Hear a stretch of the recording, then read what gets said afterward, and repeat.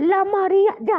कमरिया कोरेला पाला पलाली हो पलटू चा। अरे पहले आप जाइए। है पहले तू जो। है मर्दे आप बुज़ुर्ग आदमी है पहले आप जाइए ठीक है चश्मा खोल के जाते हैं साला कुछ सूझिए नहीं रहा है।